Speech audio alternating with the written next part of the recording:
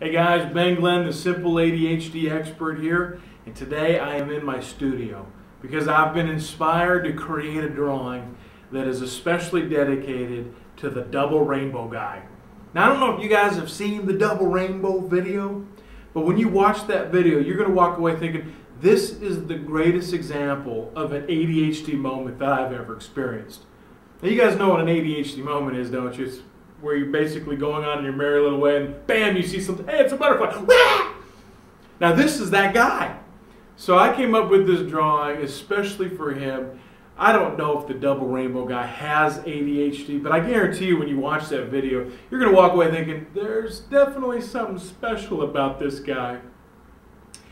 So, Double Rainbow Guy, this is my thank you to you for a crazy, funny video that I think is very ADHD friendly.